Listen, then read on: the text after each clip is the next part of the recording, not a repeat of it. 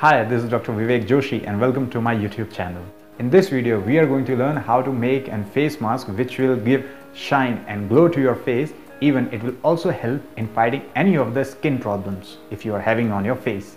So, how to make this mask? For this, we need Arjuna half teaspoon. What is Arjuna?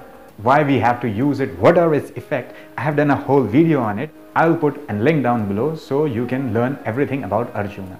Second thing what we need is neem. Neem powder you have to take 1 teaspoon. Neem is very good antibiotic, antiseptic, anti-infectious. So it's a very good herb to be used.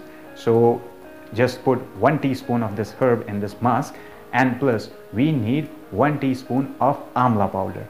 Amla is a fruit and it is the richest fruit in vitamin C on this earth. So it's very heavily loaded with antioxidants which will help you in giving the glow to your face. Plus it will also help you in fighting with the wrinkles and aging of the face. So combine the powder of these three herbs and for making the paste just use the room temperature water, nothing else. Mix them with water, make the paste and put it on your face for 15 to 20 minutes.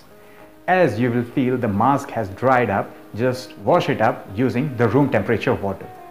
Maybe after using this mask, you will feel little dryness on your face. For this, use coconut oil to massage your face, either aloe vera gel. Aloe vera gel, if you are using, it should be natural and organic. No chemicals should be used. In this way, you will get the maximum benefits of this mask. So, put this mask and look more beautiful.